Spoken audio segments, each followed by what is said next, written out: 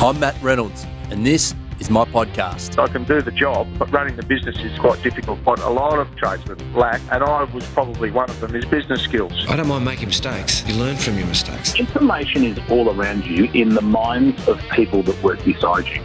Welcome back to the Trench Talk podcast. I'm Matt Reynolds, and this week I was in Sydney to interview Sachi Wickramage, a jury member of the United Nations World Summit Awards Global Contest a panel that selects and promotes the world's best disruptive digital innovation technologies with a positive impact on society. He is also appointed as the national expert for Australia by the United Nations World Summit Awards to spearhead the World Summit Awards Australian chapter. In addition to all of that, Sachi is the Chief Operating Officer at i4Tradies. The idea of these discussions, for those of you joining us for the first time, is to go into the trenches of achievement and talk not with people who are orchestrating from some lofty perspective, but to those high performers who are actually in the trenches honing their craft. That has included guests from the worlds of business, sport, and entertainment, all of whom are on the front lines doing amazing things. Prior to joining IFA i4Tradies in 2017, Sachi worked as head of hSenid Outsourcing, a wholly owned subsidiary of hSenid Software International. In his 10 plus years with the group, he managed over 50 large, highly scalable IT projects spanning across multiple sectors, varying from telco, HR, e commerce, finance, and healthcare to entertainment. Sachi has a strong passion for mobile apps and he's managed over 70 mobile app projects. He also co founded the mobile and wearable apps FlipBeats and Expense Tracker 2.0, which have won 13 international awards to date while generating enormous media buzz. These apps have an active user base of over 1 million worldwide. During our chat, we also covered his work and thoughts on sustainability, including his work involving the United Nations, how he designed a system that facilitates over 8.5 million transactions every day, the marketing campaign they used during the World Cup that sent his app FlipBeats to number one, that's downloads, in Brazil, how he got FlipBeats preloaded on all the Samsung Galaxy S5 smartphones that T Mobile released in Germany, and the challenges of building large IT systems. To find out more about Sachi and his current work, just Google his name, spelt S A C H I W I C K R A M A G E. If you enjoy Trench Talk, head to trenchtalkpodcast.com and opt in for the newsletter. We'll make sure you're notified when every episode of the show is released. Enjoy my chat with Sachi Wickramage. Sachi, thanks for doing this. Thank you for having me, Matt. We're in my hotel room in your hometown of Sydney today. Correct. Now, you are involved with the UN. Let's start with your title. They call me the uh, national expert for Australia, Okay. and the second title is jury member. Yes. The entity that I am directly attached to Yes. is World Summit Awards, Okay. which itself is an entity set up by United Nations to identify the world's best and most creative and innovative IT software products and solutions out of 180 plus UN countries. Okay, so you just recently returned last week from a trip to Vienna. Correct. And I've got it written here the World Summit Awards Global Congress. You got it right. Tell me about the trip. Very interesting trip, Matt. Yes. Uh, it was the World Summit Awards uh, Global Congress for the year 2018, Mhm. which was held in Vienna.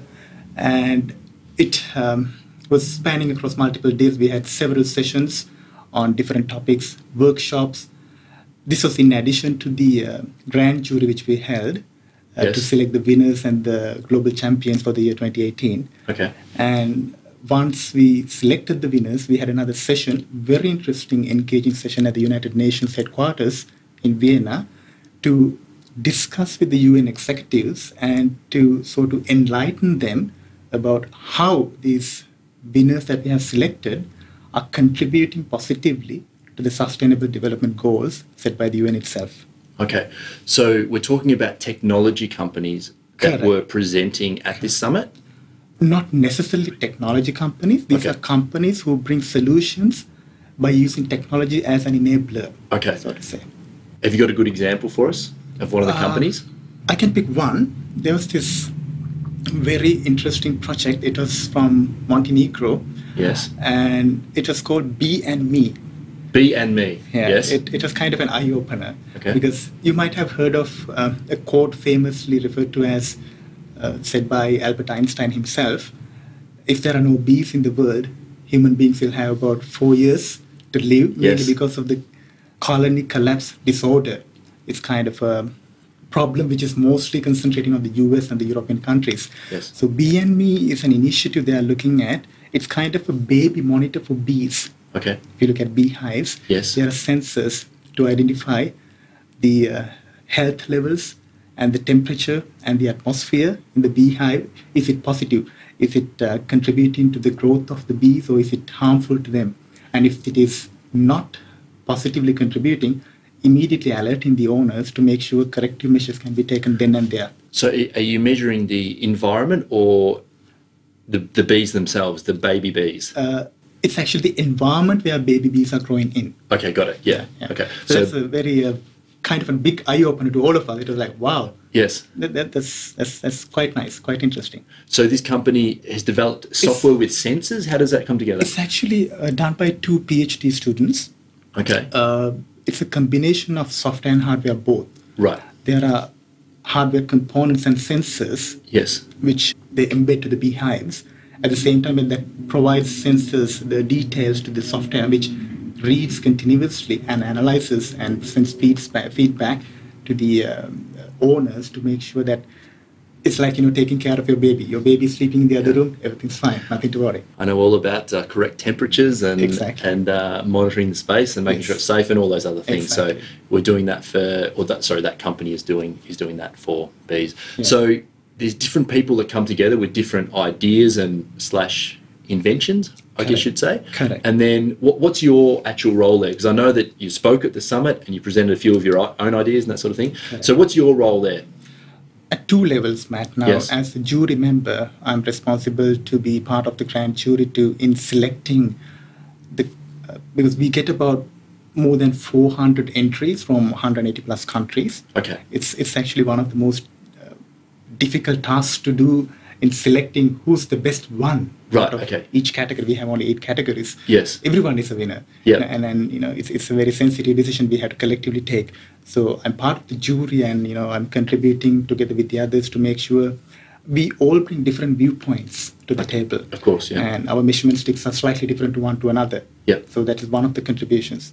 Plus, as a national expert for Australia, my other responsibility is to bring, um, identify good innovations which is happening in Australia itself and to bring it to the global stage. Okay. And that's a new role actually. So this year I did not have the opportunity to bring any initiative to the World Summit Awards Global Congress, but next year definitely. So you're going to be looking at ideas, companies, solutions Correct. that fit this innovation, I suppose, in the sustainability space. Uh, Have I got that yes. right? Absolutely, and then yes. taking them, uh, like holding the, their hand through the process to take them to the awards, or how, how does that? First of all, we had to the proper scanning and skimming processes to identify because there are so many entrepreneurs in the country and there are so many um, different scales, so to say. You know, smallest startup to the largest corporation. Yes. It doesn't matter the size of the business or the number of employees or how, what is their bottom line. That's not what World Summit Awards or UN is responsible or interested about. It's about how these ventures are contributing positively to the society at a local level. Yes. And so we believe at local level contributors are identified like that. If they're promoted, if they're given the more uh, significant spotlight, Yes. they will be more enabled. They'll be uh, energized. They'll be given the tap on the back to accelerate their journey. And is there people that look at what you're doing and, and what these awards are all about to fund these projects moving forward? Is that is that part of it or not? Funding exactly is not a part of it. Okay. But us bringing them to this stage definitely brings them to prominence. It gives them the exposure that could lead then them to- the radar of a lot of interesting people because there are a lot of uh, investors and entrepreneurs and um, even philanthropists keep their radars on. Th- that's what I was alluding to, mo- yeah. Yeah. Yeah. Moment you bring them to this stage, it's like half of the journey is done. Yes. Yeah. What did you talk about? Because you had the stage on. You did seven presentations. Did I have that right? There were close to seven, eight sessions. You know, this included Okay. the mentoring session. We had uh, the youth entrepreneurs from uh, European uh, awards are coming there to get Okay. inspiration from different experts, and also we had mentoring sessions, one-on-one mentoring sessions of sharing our ideas, Right. our experiences, what we did, how we did, what mistakes we did, how Yeah. they can avoid doing the same thing again, and things like that too. um, group level discussion sessions to workshops to and the picture that you were looking at that was at the UNHQ where we were having uh, discussions with the UN senior executives and enlightening them about the winning projects Okay. that we selected by Yep. the grand jury and uh, we were emphasizing on um, the UN executives to get their attention on these projects and because UN is kind of a hub it has so many entities attached to it Yes. so different different um, enablers are gathering around it so the Yep. moment we bring the right uh, viewpoint to that right attention to it it can go viral that's what we did How did you get involved at this level? Because I'm assuming that you have to have some sort of results on the board, if you like. You must have some sort of creditable background to be selected by these people to judge these awards and, and be responsible for bringing some of these projects you know, into the spotlight, as you put it. So, how did you first get involved? interesting story. I didn't have any idea of getting involved with any of these ventures. Yes. Uh, the uh, the shortest version of the story is uh, during my previous venture where I was working in a software company. I was doing this. Um, I co-founded two mobile apps on my own together with the company. Yep. One of these applications, Mobile First Ventures, in 2005 became a winner in the World Summit Awards, and Okay. that got me to uh, uh, attend the World Summit Awards Global Congress, which was held in Singapore in 2016. And that's the first time I met this amazing bunch of people, highly energetic. I was like extremely pumped. I was, I was in my best version. So, they selected your work to come to the summit. So when I attended this summit, you know, Yeah. I was uh, that was like, uh, if I have to explain a little bit more about, Yes. I haven't met such an energetic bunch of people in my life before. Okay. And everyone talks about the same values, same passion, and they're driven. They're from around the globe, representing different different countries. Yeah. So I was very um, highly engaging with them. Once this was over, the World Summit Awards organizing um, committee they reached out to me and they was asking, uh, based on the contribution that I did at that summit, they were asking, "Are you interested to be part of us? And we, will you be willing to contribute to the grand jury?" I said, "Definitely, why not?" I was like, "Wow." It, it was that was that an email you got? Was it a phone Uh, call? That was an email followed Okay. by a phone interview Yes. and, and a confirmation. And how many times did you read the email before you thought it was Ah. really true? I can't count. I bet. I, I bet it was a few times. So you you had the invite, you said yes, and then that, that started your journey with the UN, right? Exactly. That, that, that's how I started with the World Summit Awards. And once I migrated to Australia, then Yep. I got the second surprise call. They wanted to appoint me as the national expert for Australia, which I, with both hands um, wide open, welcomed.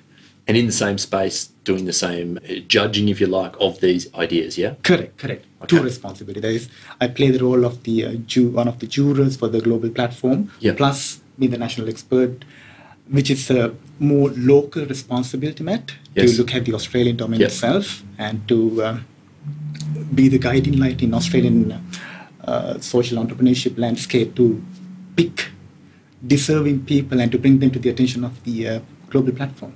So you see quite a variety of stuff and really good stuff from around the world, right? Of you don't course. you don't get to this sort of level if you're Yeah, yeah. Uh, you know shabby by any stretch of the imagination. So it's all very um, very high level stuff. How does Australia sit by comparison to the rest of the world? Do you feel that we have an innovative uh, culture here? Um, how do we how do we sort of rank on the on the world stage in in this particular space? Australia is definitely among the best league, Really? no question about that. Okay. Uh, but there are a couple of slight um, perceptual differences that I have been noticing in Australian ecosystem. Australia has a very strong startup ecosystem and social entrepreneurship, Yep. and even the uh, uh, platforms that are available for social entrepreneurs are quite at a very good level. Uh, but perceptionally, but I may be wrong. I'm still new in this particular role, but I feel is not most of the Australian entrepreneurs and entrepreneurs and who are venturing into these areas, they, in my personal opinion, they do not believe much about the world community. They believe a lot about the Australia itself. Okay. So, uh, meaning taking part in a global competition, I believe they do not consider that as a priority. Okay. That's kind of surprising to me, but maybe that is due to lack of awareness about such ventures like World Summit Awards. Yes. And uh, but that's an answer that I'm actively seeking. Uh, that's a question that I'm actively seeking an answer to as of now. So, um, what you're saying is that part of your role, you're, you're going to try and expose what is this um, good ecosystem of startup culture, and we have got some really um, uh, high-level tech people in this country, right? Obviously, yes. And and you're going to try and take them or some of these ideas through and give them that uh, give them that exposure, or at least connect the two together, right? exactly. To, to make exactly. them aware of it. Exactly. So, you grew up in Sri Lanka. Yep. You might migrated to Australia at what age? Uh, just a year and a half ago. Just a year and a half ago. Yeah. Okay, so you've only been here eighteen months. Yep. Okay, I want to get to why you you came out, but tell me about growing up, and particularly around the time you're a you're a developer yourself in this in this software space. Let's start with the first computer that you began working on. My first computer was gifted to me by my father. That was a IBM Aptiva. That was in I think 1997. Yes. Yeah. Uh, the whole purpose of my father buying me a computer was to make sure that uh, I study better. That you studied better. I okay. study better Yes. and using the uh, uh, materials that are available. I mean, that was th- these are the early stages of computer.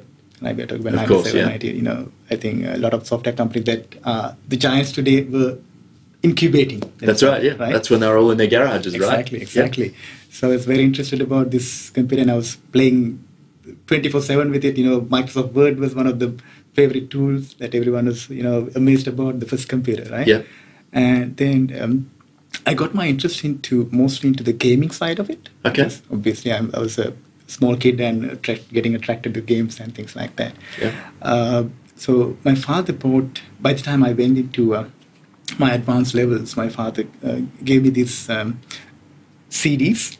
Yes. Oh. Advanced levels of study you're talking about. Correct. Okay. correct. Yeah. And um, this physics, chemistry, biology, that was the stream I was into. So Yes. he brought me this advanced CD where I there are demonstrations and things like which was like, wow, very good. Yeah. I did study well on Yes. that. At the same time, uh, whenever my father is not around, I was first started playing games. Then I wanted maybe I can do a little bit um, more than just playing games because Mm-hmm. one problem all of us kids had was these games are available, but um, there's one famous game. Let me call it. It's called Need for Speed. Need for-. I remember Need for Speed. Yes. Yeah, Yeah. yeah, That was kind of a it game those Yeah. days. So, and everyone was, you know, at school, we were talking about how many tracks did you unlock? How many cars have you unlocked? Because the more you play, the better you play, you keep on unlocking cars and tracks and all. Yeah. So it's like, um, well, if you have to organically do this, you will have to play 24 7 and you'll get kicked out of home Yes. for playing games. Yeah. There should be better and easier way to do this. Okay. Right? So I was uh, trying to self learn a little bit of coding, a little bit of uh, amateurish hacking, Yes. so to say. So I was um, trying to decompile the executable files of the game and the DLL files of the game, and I was installing softwares like Microsoft Visual Studio, which was a development tool which was freely available due to um, the resources I was connected to. Yes. So using this, I was decompiling some of the uh, DLLs, libraries, and things like that. Then I was figuring out, okay, all, actually, all these things are available. They are not that. It, it never comes from internet or anything. It's just a matter of marking it as available, yes or no, kind of a thing, at the programmatical level. Okay. Yeah. So I, I was able to go to the code level and enable certain things and make sure uh, there was this uh, 50th anniversary version of Porsche. Right. Uh, that was, I think, 2000, as I recall, 2000 or 2000, maybe 2001, I can't remember. I was able to unlock all the cars, Yes. all the tracks, Yeah. and when I did that, I was like, wow, uh, on top of the moon. Then I was like, but when this game was starting, maybe I, this is something uh, like illegal to do. Yes. but I was a kid, I didn't know much about. Yeah. Uh, it was done by a company called Electronic Arts. It starts with this beautiful EA logo. Yes. And I was like, now I cracked everything. I was like, maybe I should give some credit to myself. Yes. I wanted my picture to appear there Yeah. when the game was starting. So I was like, where is this picture? The electronic arts very first. So I was looking for it and there was not a single file. But then I figured out this very first image which was getting loaded is stored in 100 files. 10 horizontally, Yes. 10 vertically. One image is split into 100. And there are 100 files collect together to create this file. Oh, okay. So this is all wallpaper. Okay, so I'm not a computer. You know Yeah. a little bit about me, right? I'm not. A, I'm not a computer Yeah. uh, savvy, particularly at the coding level. So what you're talking about is in the in the in the depths of the program that makes it up. They were actually pulling different parts from the files to make this picture. Correct. Okay. I, I'll give a more easy to understand. Yes, do that. Think about okay, if you take a picture now, yes. and if you want to put it as your computer wallpaper, Yes. when you put it, you're putting only one image, one file. Right. You Yep. put the file, it becomes the it occupies the entire width and the height of the screen. Got it. Yep. And so I was looking for this one file so I can replace it with Yes. something of my own. Yep. There was no one file. Yep. There were hundred files. Okay. And how they have done was this particular wallpaper in the same example, imagine it being split into 10 rows. Yes. So now we have 10. And again, it is split into 10 columns. Yeah.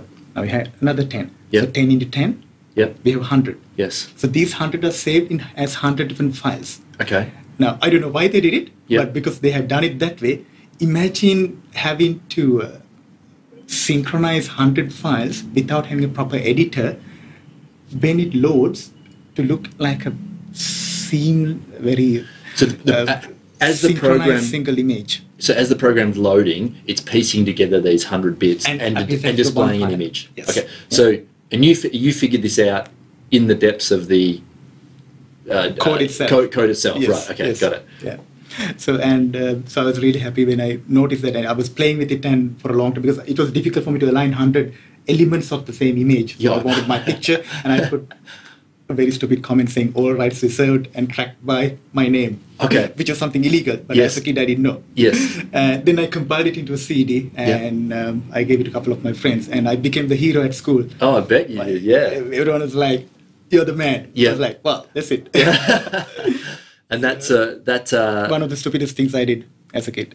well, but one of the things that led to well, lit the fire for what has become a um, you know a, a, a very successful career now, right? Yes, So yes. So I figured out what is right and what is wrong. But Yes. the technical advancement and the knowledge I got, I now utilize for the better part. so you did that at that age. You're pretty young. Correct. When did you figure out it was wrong? Ah, just a couple of years after. The moment my father got to know, he said, "You can get sued." Okay. Okay, I did something wrong. Yes.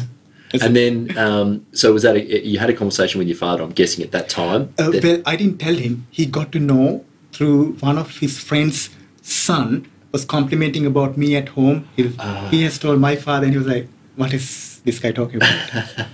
And it. then you had to explain that. Yeah. Okay. So then, where did you go from there? Uh, In in this um, in this computer sort of coding space, Mm-hmm. because you obviously didn't stop. Yes, I mean, what, what, we, what we did as kids was, you know, just all experiment, just trial and error, trying some things out because, you know, the probing mind wants to, you know, try out, experiment and different, different things. So then I wanted to systematically learn what computer programming is. Yes. Which made me self-learn a couple of computer languages like Visual Basic and uh, C, C++, the basics of Java. yes. I started with the very first language that I worked on is called DBase 3 Plus. That is like the DOS-based Oh, yeah? application. That's you know Yeah. putting certain commands to get certain multiplications done. Yeah. So from that we went to the UI stage and started learning more about the computer, better ethics and uh, how to use programming. Then how to use it for your own benefit, not to modify something done by someone else. Okay. But how to create something of your own that can bring value to others. And what was the first thing of real? What was the first thing you created that you were really proud of? I created it's a security system that I created very first. Security system. Yes, it's, Okay. it's kind of you know because we had problems like most of the, including myself. Sometimes we were working on these hard drives those days. Yes. The primitive stages of hard drives, and these do corrupt very easily. And sometimes your assignments to uh, your important, uh, let's say, scanned documents or things like that go missing Right. So is that before? Uh, that would have been after you had the like the big floppy. Uh, this is the floppy era. Okay, Yeah, yeah. I, yeah. mean, the, I remember I was having uh, the very first computer was having a four gigabytes hard drive, and that was like the best in the industry at Yeah, four gigabytes. Wow, we increased it that's a photo these days. Oh yes. Yeah. Even yeah, of course yes. Yeah. And then it became six. Then it became twenty. Then you know the journey. Yes. So this is a security system. What I did, what it does is it creates a folder Yes. in your computer after once you install it. Yeah. So this installation, I had legally put my name and the picture and all right reserved by myself, Yes. proudly stamping it. Yeah. So when once you install it, there's so much of uh, branding going on at Yes. the beginning of the installation. So it creates a folder called unlocked. Okay. And uh, the computer, the software gives you instructions when once you open to store all the important files in this folder. Then you're supposed to give a password, and there are two buttons: unlock and lock. Yes. When you click on the lock button, this folder renames to lock. Yes. At the same time, it uh, encodes the file. Okay. And so even accidentally, you can't delete it. If you try to format the computer, the formatting command breaks at the time Ah, of reading okay. that file. Yep. Because it's a, it puts Yeah. a stop on the Exactly. on the okay on the process. Yeah. So Yeah, you got say it. now, if, if you are having a, my friend had a problem like this. You know, he had about two, three elder brothers. Sometimes when he downloads the game, brothers come. uh, Delete everything that he put. They put their own. Their own So game like, on, yes. I need to protect my my game, which is important to me. Yep. Kind of. So you know, it was becoming. It, it became a big hit So school. and he used that program to do that on at home, right? Sorry. He used your program to do that at home exactly. for He himself. is just Okay. one, Okay. and many of ma- many people used it. So are you? uh, What, what sort of age roughly are you about this time? I think I was um, 15, 16ish. Okay. Yeah. So you're not um, profiting off off No, no, these this- um, this ventures all- at the moment. This is just a love, um, putting it Yeah, out there, and just yeah. this is kind of like Uh, earning a lot of uh, love back. As Uh, uh, yeah, yeah, I bet, yeah. return. So after the security system, um, where did you where did you move on to? So after the security system, that was like um, I kind of stopped experimenting and doing simple things on my own. Then I uh, focused and continued on my higher studies and got my degree through. And then uh, we came to the stages of my early career. Yes. Then everything else I did was involved with the company, and um that's the journey I came from that to this point. And uh, what what degree did you get? What was your first degree? That was in uh, Management Information Systems (MIS). Okay. And then where did that lead you to in terms of a first job? My first job was a perfect fit to my degree because my degree was in MIS, and I got the job as an MIS consultant to one of the banks in in the country. Okay. And I was really pumped. I was like, wow, I'm entering a good company, a big company. I was like, the, the very first job.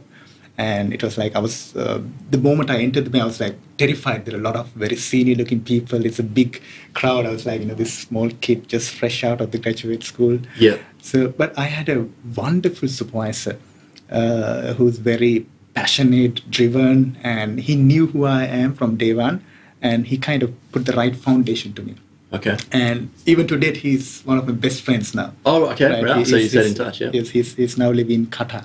Okay. He's running. He's one of the uh, senior executives in one of the leading banks in Qatar. Okay. So, uh, so he paved the path for me to uh, develop my career very well. That I really respect him, and I, my gratitude goes back to him even now. Yes. Right. So, uh, the division that I was attached to was called MIS division. That is the Management Information Systems division. Right. We did the most boring tasks at the bank because we were doing the reporting for Okay. the bank. Yep. But Matt, these reports were of paramount importance to the senior um, uh, management of the bank Oh, because of course, yeah. they made decisions on behalf of the bank and the bank stakeholders by looking at these reports. Yep. It's about profitability of a branch to uh, end customer level to many, How many products are working, I'm guessing, all of that sort of stuff. Yeah. And about experimentations on new products, how to refine them. Uh, MIS division had um, a lot of, uh, it was a big headcount division. Yeah. And the more I spent time in this division, I felt there's a lot of inefficiencies. Okay. Meaning, uh, people were, this is where the banks, people use a lot of Excel, and these people don't use the mouse. Yes. Even I was really impressed by my boss. He was like, he, was, he told me, if you want to be an expert in Excel, throw away your mouse. really? Use the keyboard, keyboard shortcuts. Go Oh, ahead. okay, yeah. Right, I was like, wow, he's Yeah. the man I need to follow. Okay. So, uh, and you know, and then because the mouse is too slow, am I getting this? No, what he told me was when you start using the mouse and going here and there, it is number one slow. Number Yes. two, it makes you look amateur. Doesn't make you look. Pro- but if you use keyboard shortcuts, you're faster. Your hand-eye coordination becomes better, and you feel you're more professional. And you, you spread that image to others, and others look at it. Wow, look at it.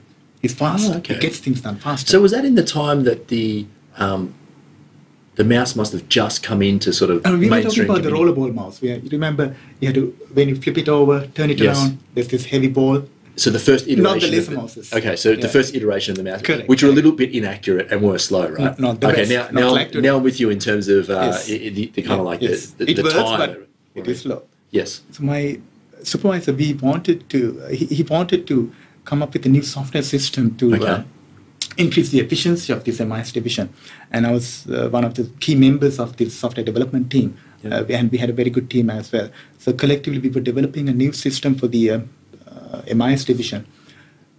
Once this was done, bank was extremely happy, but it created a lot of other problems. It made a lot of people's jobs redundant.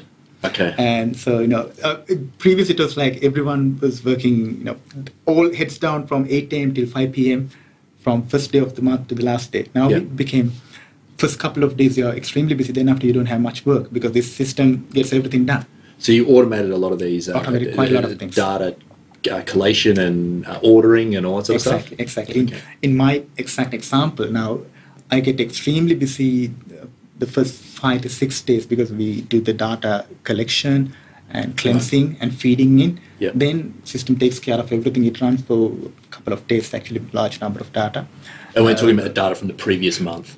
previous month. Crunching uh, data- that data in for comparison forward. for the month before Yeah. and the last year same month and many many views. Oh, comparisons and all that, right, yeah, got so it. After about sixth, seventh day of the month, it's like you know I don't have anything to do. Yeah. but the bank is extremely happy. Management Yes. like, wow, you've done your job. Yeah. Enjoy the rest of the month. I was like, no, this is not good. Yes. I'm too young in this career. Just I'm just a couple of years into it, and Yeah. I'm getting comfortable doing nothing. Yeah. So I told myself I need to shift gears. It was a tough decision at that time because everyone liked me and I liked the place, but I wanted to move out of the bank and uh, move into the software development industry itself. That's quite interesting. So that says a lot about uh, your character, probably now, but certainly back then. So you, you didn't want to get stuck there in, in that box, right? You you had you had that inside you to, to do more and be more, right? Exactly. I got scared actually. That you were slowing down. Yeah, I, I was like, okay, first five to six, seven days, I know it's a lot of sense of achievement. You get something done, everyone is happy about it. Then after the rest of the 20 to 25 days of celebration doing nothing, it's like, no, it's not good. That's not good. Yeah. It's Okay. not good. Yeah. So you you, you you made the decision to move on from the bank then. Exactly. And um, looking at the the local culture of it as well, it was very uh, uh, difficult for many people to understand why are you leaving a bank? Yes. Because banks are considered the best place to start the career and End even to end the career. Yeah, yeah. Right. Yeah. You don't leave a bank. Yes. There's a lot of uh, other benefits are surrounding you in a bank. But I wanted to take that decision, and my parents were with me and um, took that uh, call at that time, which I really am happy about. Yes. So I joined uh, uh, one of the leading software development companies, Okay. and I joined at the capacity of an HCI engineer. Okay. What is it? What does that stand for? human computer interaction engineer. Okay. What does that mean? Good question. uh, that is a mix of engineering and psychology. Okay. It's about think about Matt, you as the human being, me as the task that you want to perform, Yes. and technology comes in between us, telling that you can get this task done better by using this. Okay. But the perception is you don't see the task that you are going to get done, you see technology, Right. right? And you get scared because it's something new to you, Yes. right? And Which is why some people are a bit um, slow to adapt new exactly. technologies. Some people okay. are a little resistant. Some people are a little um, not ready to welcome technology. Okay, so this is interesting because they get caught up in the middle and not looking at the end task. Exactly. Okay. So the study of that. Yeah. the study of HCI in, in simple terms is about usability engineering. Okay. The main target is to make sure the technology layer sits not in between the human and the task he wants to perform, but it becomes an enabler, foundation, Okay. right? Where you don't see the technology. You are enabled by the technology to get your task done faster, more efficiently, and it saves you time, makes your life So easier. it's a different way of looking at the same situation. Exactly. And, sort of reformulating that exactly. relationship. Exactly. It's, it's a, as I previously said, it's, it's a mix of engineering and psychology, understanding how human brain works Yes. and what it wants done and what it does not want to see in between. Yep. So I joined at this capacity of an HCI engineer to this company, and we were looking at uh, the company had a wonderful portfolio of products spanning across multiple sections, sectors. Uh, so I was uh, part of uh, re-architecturing these software Yeah. uh, re-architecting and, And is this, is refining this, it. is this software? uh, We're out of the banking industry now. So what sort of um, industries Uh, are we different in? different industries, mostly in the telco sector, Okay. telecommunications, Right. and human um, resources, HR, Yep. A couple of ERP level systems. So I'll give you another example now. Taking an example back from banking itself, think about a computer system that a banking executive needs to look at from the moment he walks into the office until the moment he walks out of the office. Okay. The colors we use, yes, the size of the icons, buttons we use, the text, the typography we use, and how we lay functionalities. How many clicks does he or she has to go through to get certain functionality done? And how frequently certain functionalities are performed.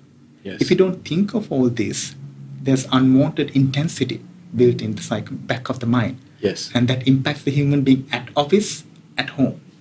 Okay. Got so it. HCI is to make sure that Oh yeah, it rolls out in the rest of your life. Yeah. Okay. I Exactly. understand what you're saying. Yeah. uh, HCI's intention, human interaction, human computer interaction, is to uh, bring usability in focus, meaning making it a very pleasant experience. You know, you should be like, wow, this is my system.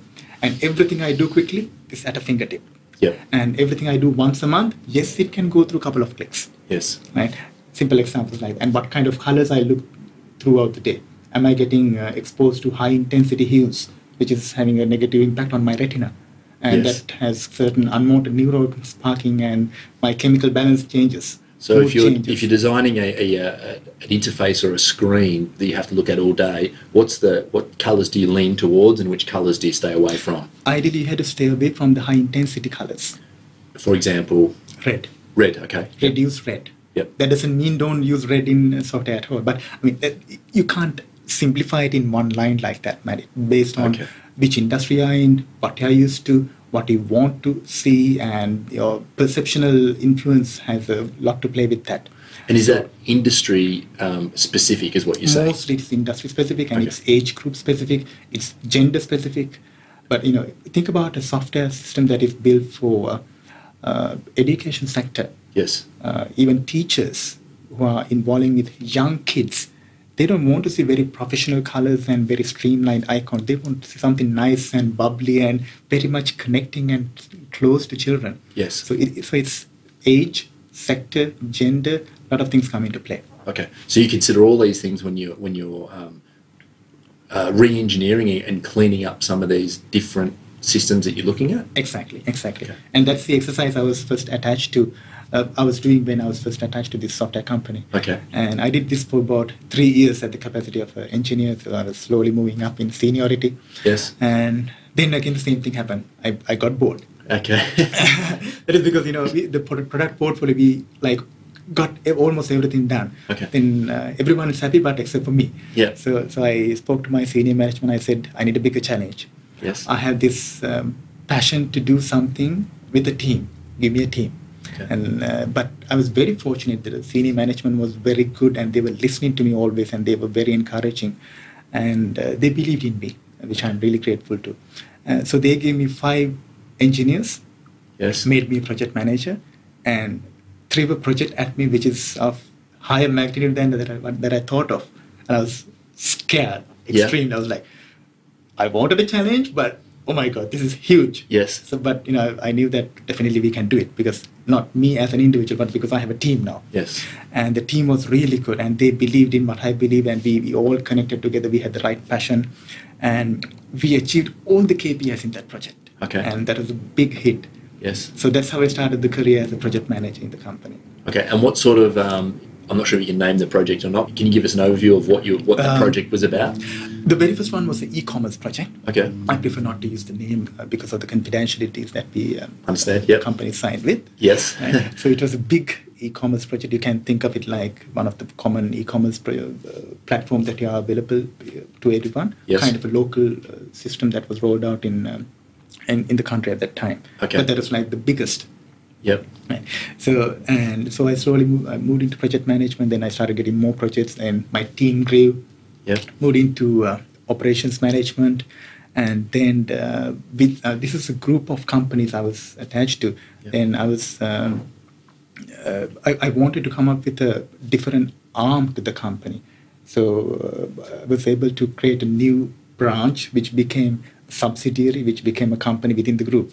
Okay. And I was heading it for the last five years of my career in that company So that's the head like of the, the company. the entrepreneur model. Is that exactly, right? exactly. exactly. Okay. And that was uh, specifically into software development outsourcing.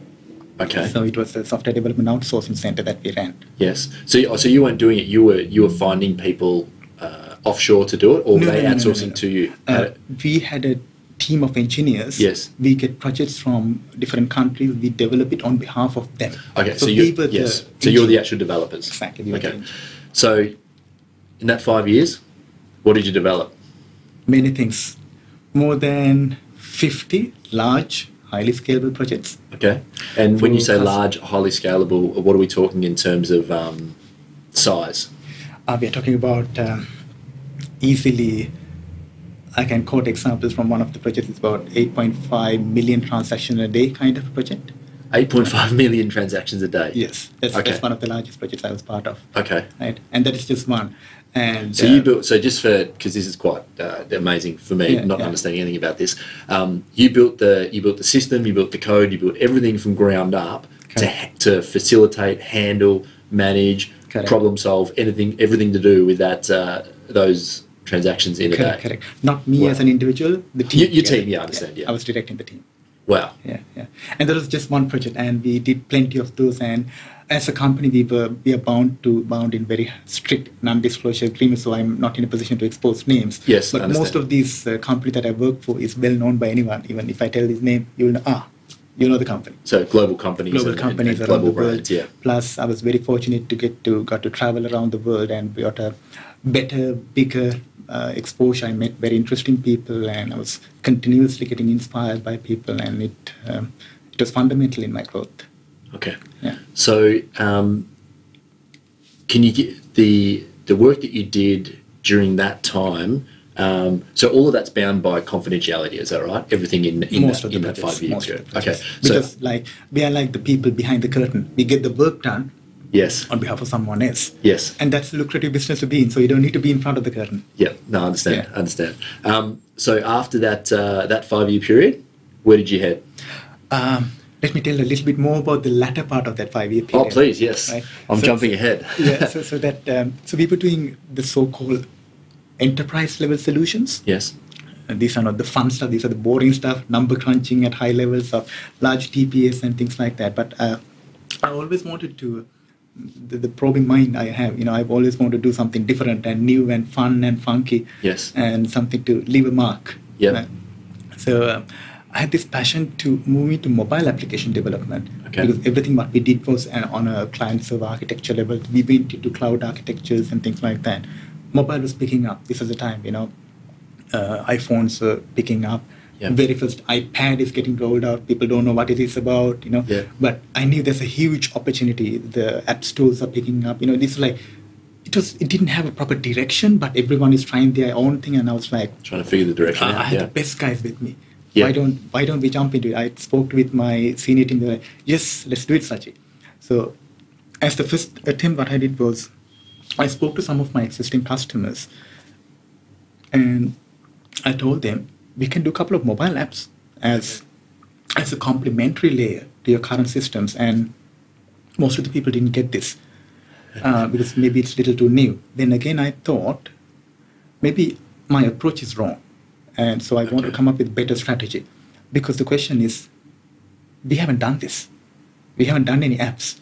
So I came back and went back to the drawing board and got my seniors together and we were just uh, brainstorming. And then again, I thought, okay, let's come up with a strategy. Two steps. One, let's do a series of apps of our own Okay. which is yeah. fun, simple, but let's make it elegant, classy, beautifully designed. So to bring the wow effect.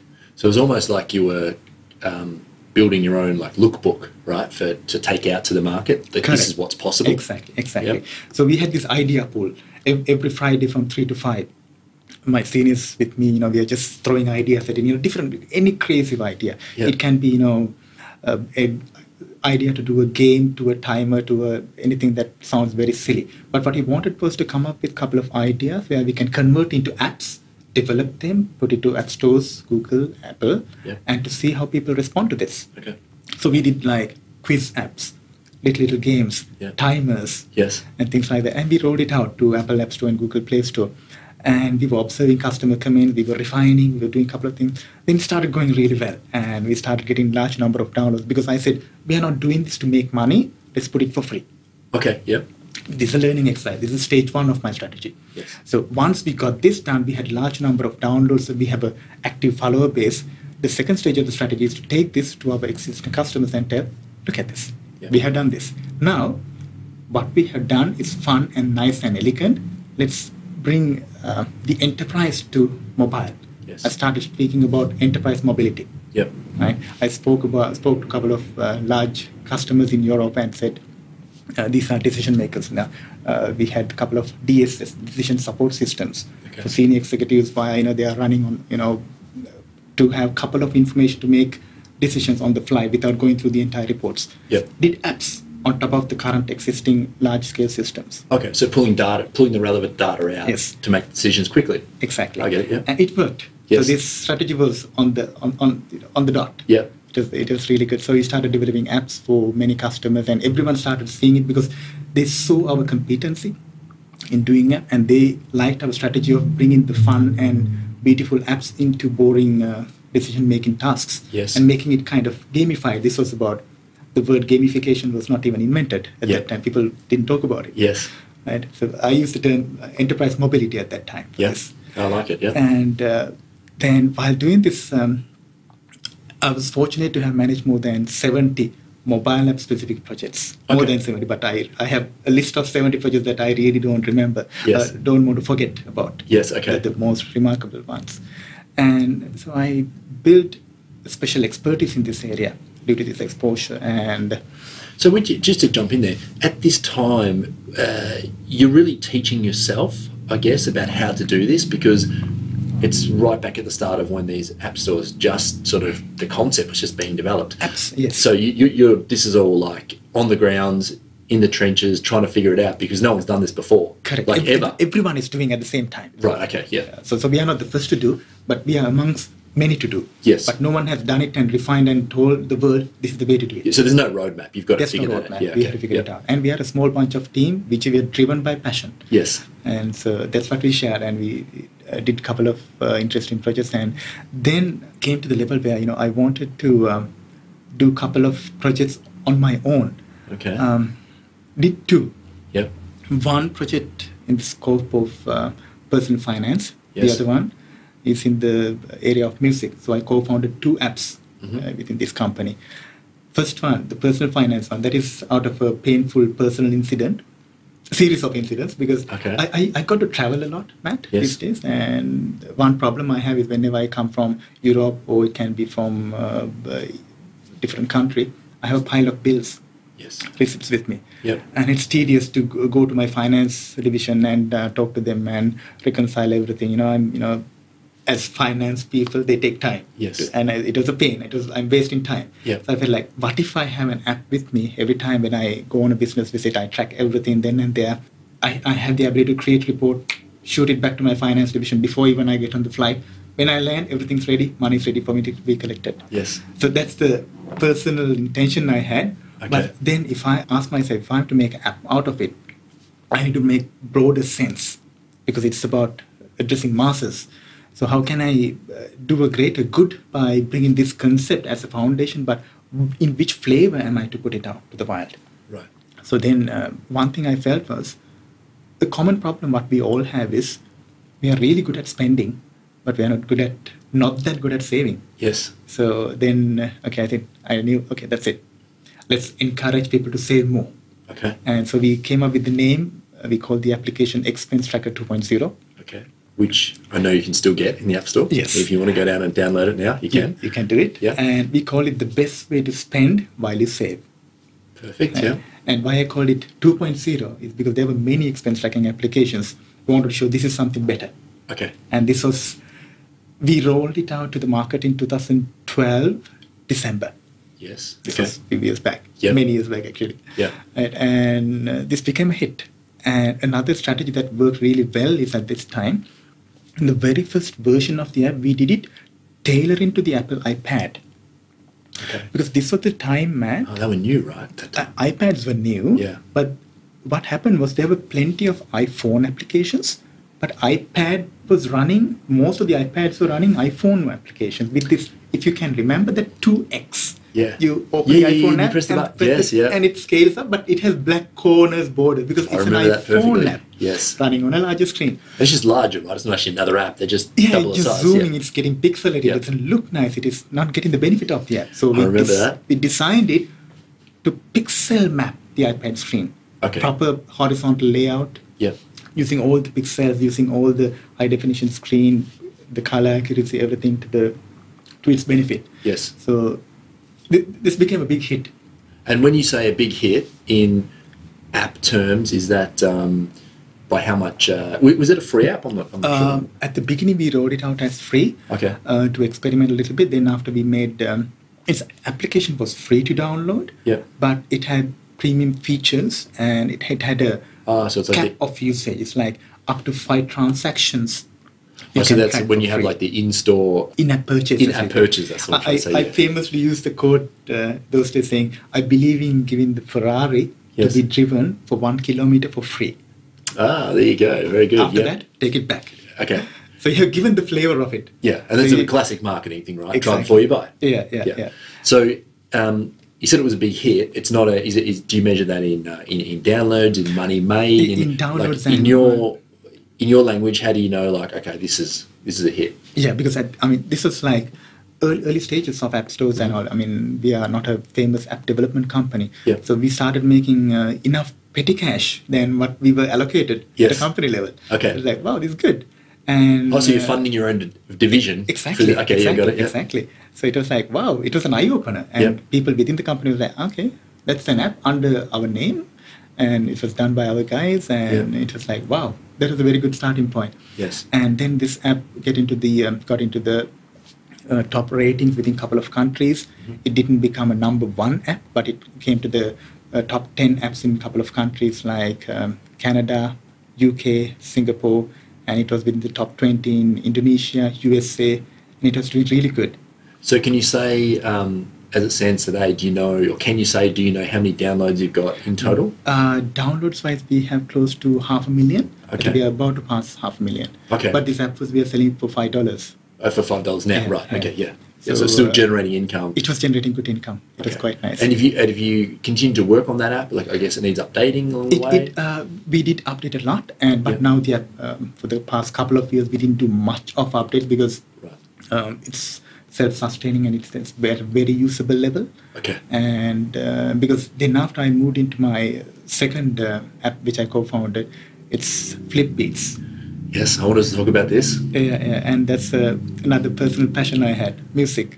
Yep. Well, uh, as a kid, I was very much attached to music, and Uh-huh. I was doing a little bit of mixtapes and a little bit of DJing while I was studying, and things like that. So, one practical problem that I faced was now I was using uh, phones like Nokia those days, then moved to Blackberries, then iPhones to Samsungs to everything you can name it those days. But we saw how fast these computers, these phones are picking up in processing power, RAM, and quality of the screen Yeah. from the very first color screen to what we had in a couple of years. Yep. I remember the very first color screen phone I used, which was a Sony Ericsson T65, I think Okay. the name, and that was a 256 pixel array. Kind of, you know, technically say it, it's like you know, bun- looking at a bunch of pixels and Yes. how things change over time very quickly. A couple of years down, you had high resolution screens, and which is better than your laptop. Yeah. And one problem I felt was um, another side of the stories. You remember how we used to store music those days? It was on cassettes. Yeah. Right? And, uh, Then came the CD era.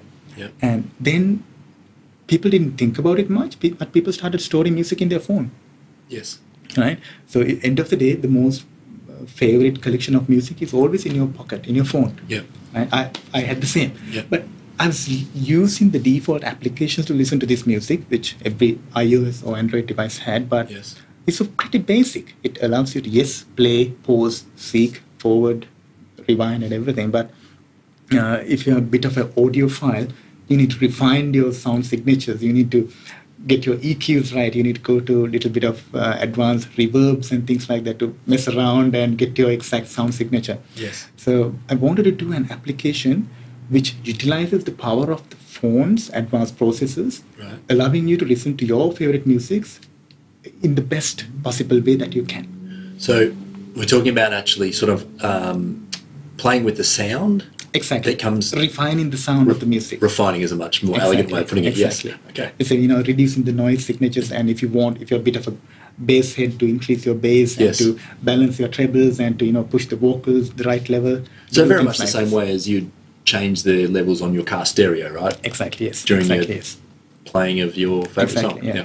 If, if you don't care about it, you'll have it flat. But if you do care about it, you'll You're always go through you know the 11 or 15 or how many EQ points you have. Yeah. So uh, FlipBeats was put to the market with the intention of uh, allowing people to refine their music. Yeah. So and we, uh, I mean, it is like you know bringing a mini recording studio into your pocket. Yes. And at that time, we called it the most advanced way to listen to music on a phone. Okay. And it, I believed it was Yes. and this was lo- rolled, to ma- rolled out to the market in 2013 December, and it was picking up in uh, 2014 beginning.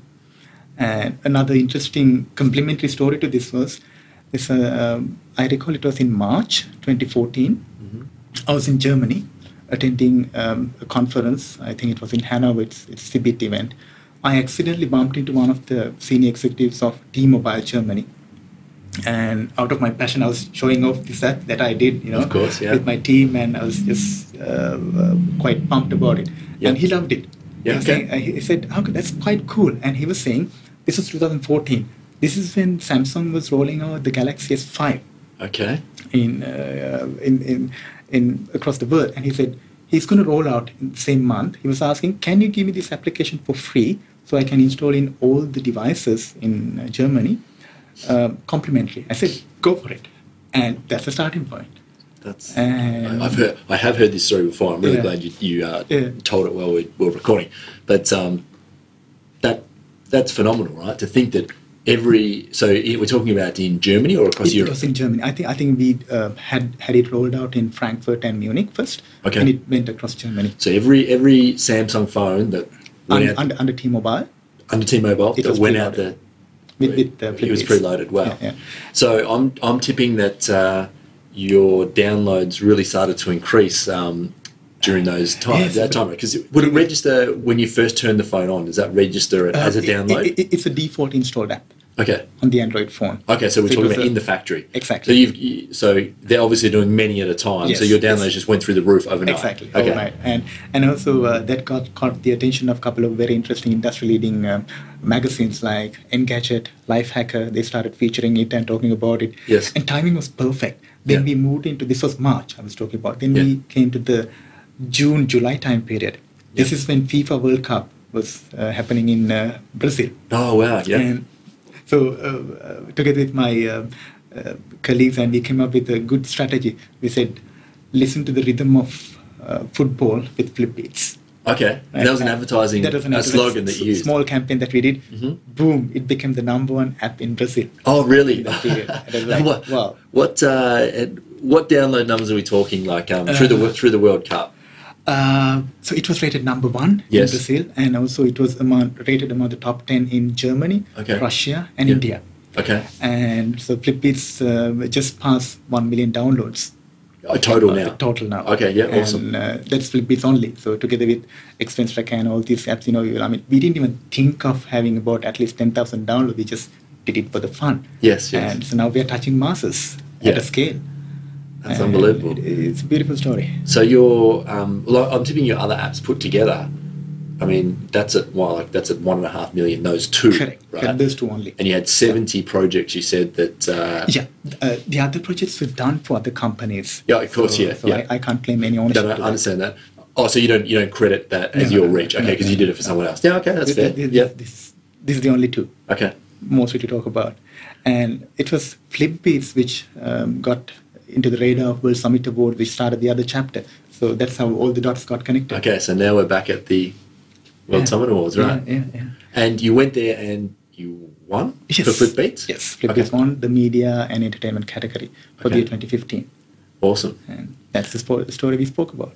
It is now the um, FlipBeats is in, an incredible success by any stretch of the imagination. It was. When you decide that you were getting bored and it was time to move on again? Yeah, so I completed 10 years um, in this software development company. I loved it. I loved the people, my team. It was like family. I mean, I was not going to work. I was like, you know, waking up to join my team and you know do something really great and you know have fun. It was it was like the second home. Yes. I didn't know which one is home. Yeah. so uh, I was very comfortable. Yep. And then again, uh, the other side of me kicked in. Like, time for you to make a move. Mm-hmm. And so I wanted to um, leave this comfort zone to rediscover what I'm good at. Okay. And then I was thinking of uh, migrating to Australia. And then during one of these conversations, uh, this is where Logan comes into the picture. Yes. Who's been on this podcast before? Just Yes, yes. And I got to know that. Logan in 2012 Okay. because he was one of uh, my customers before. I met him first time in Colombo in, in a uh, restaurant. We spoke about one of his businesses, and I was the software solutions provider representing my company, and he was the customer. So we Oh, so you, you were developing for his company at that, or who he was with Correct. at that time. Okay. Correct, yeah. correct. So uh, we, we connected from day one. You know, Yes. Logan is, is a very passionate, driven person, and He certainly we, is. we both liked each other. Yes. And and so that started a long-term relationship. So we did a couple of projects, very successful. He loved it. He was delighted. And so, but we were always in touch, you Yeah. know, communicating this and that, and updating each other what we do. You know, became good pals. Yeah. And the moment he got to know I'm migrating, he started telling me about his new story, i4Tradies. Before we go there, Yeah. why Australia? Um, good question. I believed Australia has a better ecosystem in multiple perceptions. Okay. Explain it for me. Looking at, um, okay, country position wise, okay, uh, You're this, ge- this might sound uh, silly. Geographical, you're This might about. sound silly, Yeah. but the geographical positioning of the country is one of the most safest, I believe. Oh, because of- because of the isolation factor. Yes, isolation factor. And if you look at the weather conditions wise, even the winter doesn't go to extreme uh, minus levels. So that is very much livable. Yes. And obviously, it's rated among the most livable cities, Sydney Yep. and Melbourne. Yes. So, and I had some uh, I have some family uh, here in Australia as well. So Oh, you've got family here? Yes. Oh, I in, didn't uh, realise that. Okay, Not cool. exactly in Sydney, but in Perth. Okay. Yeah. So, uh, but it's like two different countries, Yeah, but still well, in the same continent at least. Very much. Yeah. So, and um, I've dealt with many Australian companies, um, which made me understand how uh, the IT sector works in Australia. So I had a very good understanding and familiarity with that. Right. So that was very much ticking most of the boxes to me. And so that's that's like the main reason why. And I have many friends here, Okay. and who are Australians as well as people who migrated from uh, other places. So so those things were justifying enough for me to make the move when I wanted to make a move to a bigger plate. Right. So now we're at for tradies. Yes. Logan, when did he first give you the idea? So, uh, um, so I was, so we were talking about my migration, and he, the Mhm. moment he got to know, he was saying uh, he's uh, working on this project called i4Tradies, and he was asking, uh, are you interested to join? And, uh, he was asking, inviting me to be his co-founder and the COO. I was like, "Oh, what is this project? He was like, i4Tradies, and then he was saying. Tradies. That's the first time I heard the word tradies, Matt. This is quite funny. Yeah, we've spoken about this before. Exactly. Uh, because the word tradies is very much in the Australian vocabulary. It is, yeah. Not much known internationally. Use different different uh, alternatives for that. Yes. Very silly ones uh, Yeah. in, around the world. Yes, that's right, yeah. Uh, so I did a little bit of research about it, and a couple of factors. One, I we identified um, in Australia only, it's a 15.4 billion dollar industry, quite sizable. If you The- look at the the trade and construction industry. Correct, Yep. correct. If you look at the global picture, forget about the entire world. Think about a couple of countries like US, Canada, and UK together Yes. with Australia. Yeah. Those four countries only, it's about 500 billion dollars plus uh, industry. So it's a massive playground Yes. that, that ticked many boxes. Yeah. Uh, second, the Logan's product offering, what he had strategized is amazing Yes. if you look at the sector, and he was explaining to me there are three main players. People like you and I, Mm-hmm. trades consumer, who can be having a leaking tap at home or something wrong with our AC. They want this fixed. Yep. And there are trades business owners Yes. who are running businesses with tradies as their employee. Correct. There are many software solutions targeted purely at the consumer side and purely at the business side, enabling them to uh, take care of their back-end operation. Yes. But there was none connecting these three elements together and creating a beautiful synergy among them. Yeah. And I was like, wow, this is amazing. And so I identified that's a blue ocean. Yes. no competition. Yeah. Right? So big playground, blue ocean. Yes. And most importantly, this is coming from a person who I knew and who I trust. Yes. Logan. Um, there was no reason for me to say no to it. So you had to say yes. I had to say yes, and here I am. So that was. wh- wh- When did you first like put your hands on that uh, on that Um, product in terms of starting to develop it? Uh, I think we were first discussing at the latter part of 2016. Okay. where uh, the prototyping was done. In fact, Logan has invested uh, significantly at a research level, plus he had very good exposure into the trade service sector for many years due to Yeah. his um, previous engagements in the sector. And the MVPs were done, there was working prototypes, there were uh, there was a dedicated team working on it. So when I joined the team, uh, like the very initial steps were done. It was like a working prototype, and Yeah. and the beautiful uh, arrangement of i4Tradies is that you know, okay, before telling that story, something commonly I've seen in the IT industry is most of the time IT companies fail because as IT people we try to develop something on behalf of someone else without getting into their shoes. Yes. But i4Tradies doesn't have this mistake. Right? We have partners who are from the trades industry itself, Yeah. who are our investors, and we co-create with them. They are part of us. So we are not a bunch of IT guys trying to do something for some- a different industry.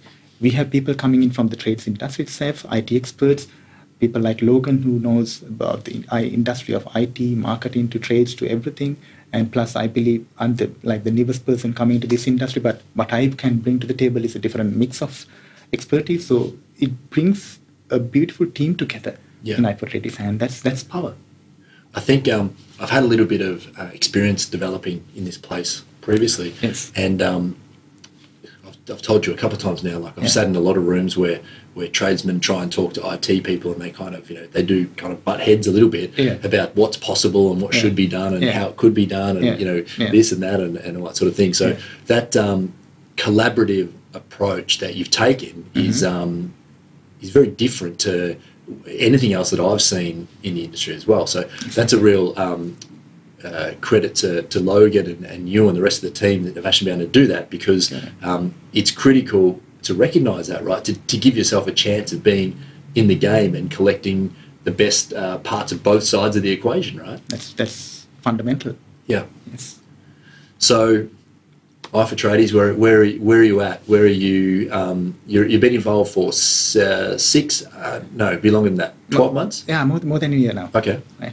So uh, we have been working on this. Logan has been uh, investing in this for the three plus years, and we developed uh, MVP. Then we started putting more features during the last year, and uh, something that we try to always balance is i4Tradies should not have all the features everyone is asking for Okay. it should have the most fundamental features and we believe it has to be an enabler to tradies trades business owners and consumers to get what they want done maybe not in the way that they have been doing it but in the best way that it should be done so we need to be a we have, we have to be a thought leader in the industry Okay. So part of what you're doing is actually re-educating the trade industry, itself in the in a, in a slightly different way of doing it. So can you give me can you give a, a like a, an on the ground example of that about how uh, one aspect of using this app that would be maybe a little bit different to what is uh, previously thought as the, you know, Yeah. the the way it should be done. Yeah, because our focus is we try to always bring the customer as the center, foundation of the experience. Because no point having the most advanced software solutions run your backend if you don't have customers for you. Yes. So we have to win customers. Yeah. Right? So i4Tradies is a customer focused or rather customer obsessed company. Yes. And we, we, we stand for the customer. So we believe in saving time for customer. We believe in making life easy for the customer because if you look at now, people talk about these disruptive technologies. Technologies don't become disruptive just because it's technically advanced. It becomes disruptive when people start accepting it and adopting to it. And it makes something practical actually Exactly. better. Right? Exactly. Exactly. So that's what i4Tradies is all about.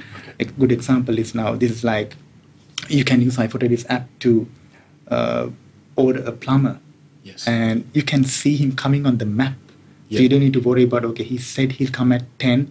Will he come at ten? Is not a question. Yes. And when, when he comes in front of your house, alerts you. So we have, you don't have to wait till he comes and rings your door. You can take care of your dogs and you have to you, you you are ready to welcome him in front and little things like this it makes a big difference end of the day We've um, we've talked quite a bit about this previously, Yeah. and um, I keep like I know it's a common thing to do. It's not always a great comparison to make, but this comparison with the um, the taxi industry previously, right? Yeah. Where to get a taxi, you'd pick up the phone, you'd go on hold for 30, 40 minutes, Yeah. and you'd book a cab, Yeah. and it wouldn't turn up. Then you'd have to ring back. Yeah. You wouldn't know what's happening, and then Uber comes along and says, "Hang on a second, we can just change a few little things here."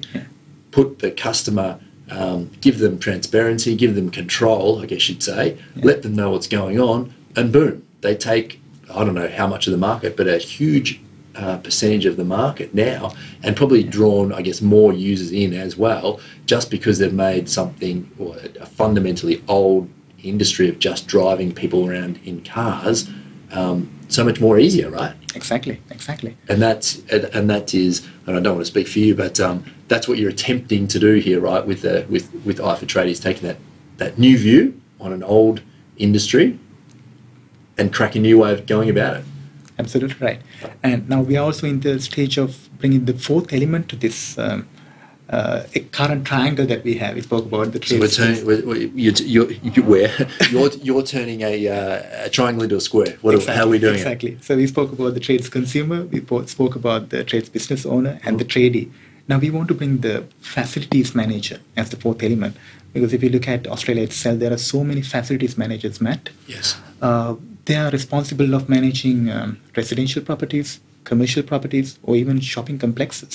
yes They have a lot of pain points, Yeah. and i4Tradies can easily complement them. I, uh, this the fourth element that we bring in. It can even be a white label solution where it can run under their brand name, allowing them to do what they do better than how they do today. At the same time, getting the benefit from the complementing product portfolio i4Tradies has. And again, that um, comes back to transparency, right? Because being a trades uh, business owner, operator, and all that sort of stuff, there's not a hell of a lot of problems that can't be solved with just a little bit of extra communication along Exactly. along the way. Exactly. Most people generally try and do the right thing. You know, Yeah. you have your people who don't from time to time, but that's life, right? So most people generally do the right thing. Yeah. If we're just open and honest about what we're doing, Yeah. the problems That's all. go down or are solved. Yeah. Exactly. So that's uh, so you're you're you're full time every day. That's your that's your big big project at the moment. That's the big baby. I wanted to just have a couple more questions before we wrap up, um, Sachi. But uh, I wanted to ask you from all the knowledge that you that you have in the technology space, from what you've done, what do you see big in the next three to five years? Because we keep, I, I keep hearing uh, in the media and kind of this feeling that we're at a bit of a, a, a tipping point, maybe in terms of like a few different technologies that are, you know, you've got AI, virtual reality, and there's like you know a gamut of these things that we're sort of just um, uh, Bitcoin and cryptocurrency, and is it all about to happen? Like, where, what do you see as big in the next three to five years? Um, I, think you are correct in uh, identifying this technology that you mentioned as big. You know, AI is huge. It's gonna. We don't know what it's gonna do. Yeah. We know it's huge, right? And things like machine learning, things like AR, VR, and even uh, blockchain is becoming a fundamental uh, change to every industry, not only in car- cryptocurrency itself. And but there's another element that I believe in, Matt. Uh, this is maybe because this I got this exposure because my of the involvement with the World Summit Awards. Yes. It's about, I believe, it's high time for all of us to think about the sustainable development.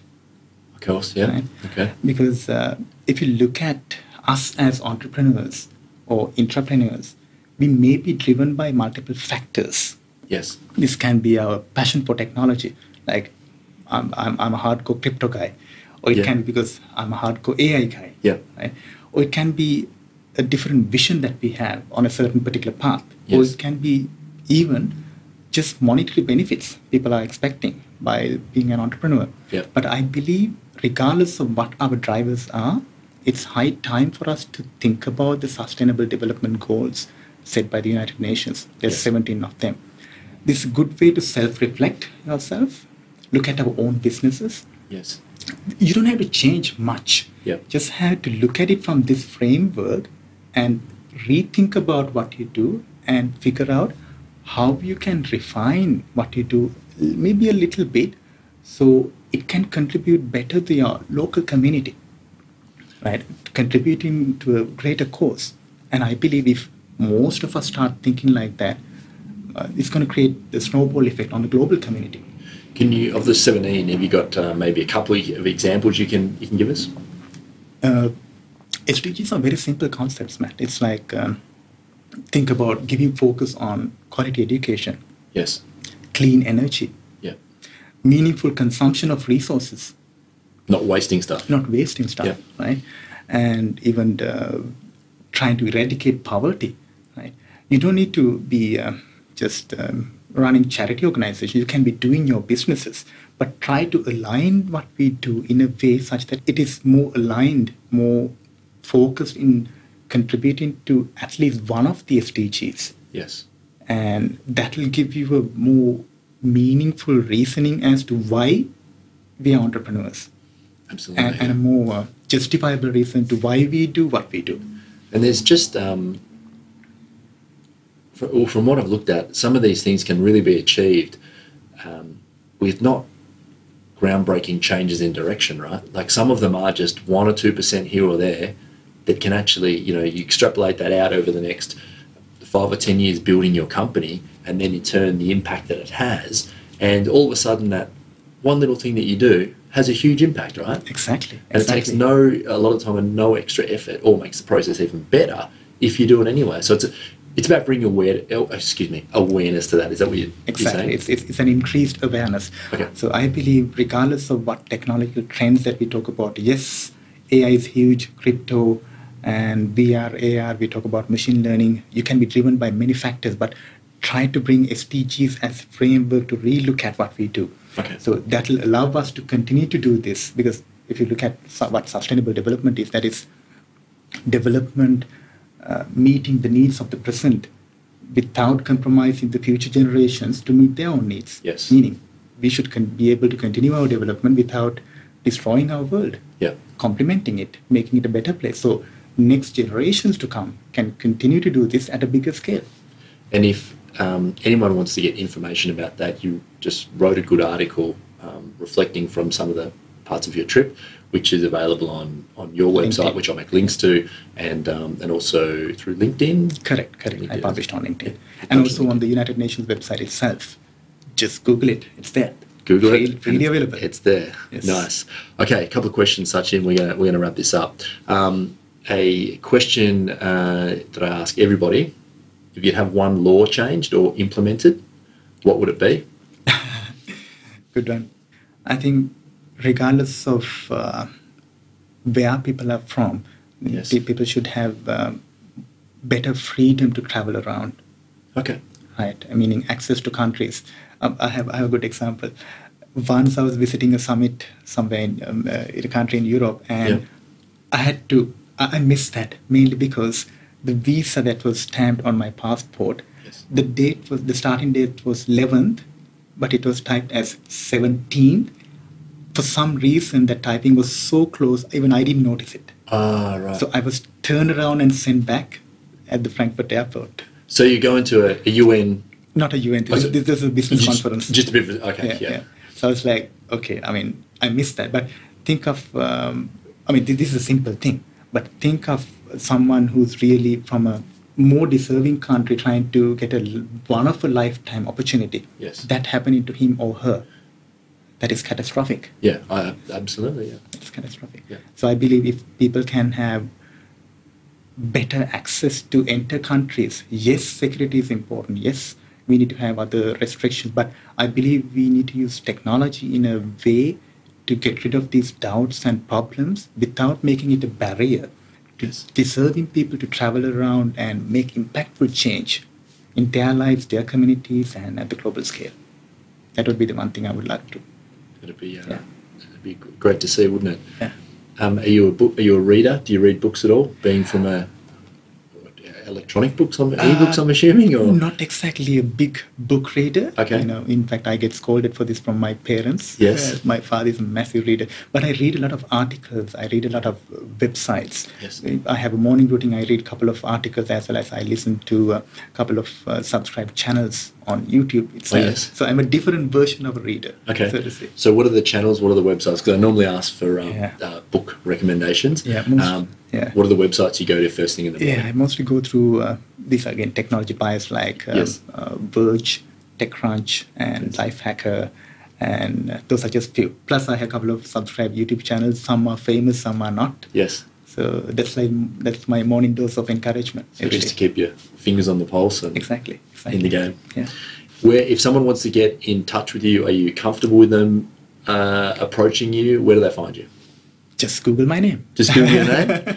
It's uh, and it'll come right up, right? You've Yeah, got yeah. There's, there's a lot out there. Yeah, Yeah, I, I was doing a little bit of uh, research for this, and Yeah. everywhere I look, uh, you're one of those people that um, you. I've gotten to know you a little bit, Yeah. and every time that uh, you, you look or you know you, you turn the corner, there's you've you've done something else, and there's something else. You know, you find out something new, and there's a, there's a ton out there on you. So, um, Yeah. Sachi, thank you for uh, sitting down. Um, it's been a been a, been great to chat. Um, a blast to find out a little bit more about, about what you're doing, and um, you're uh, you're a high achiever, mate. And I, I really uh, really look forward to seeing your journey over the next uh, few years. Because um, if the past is anything to go by, the the next few years is going to be pretty exciting too. So thank you.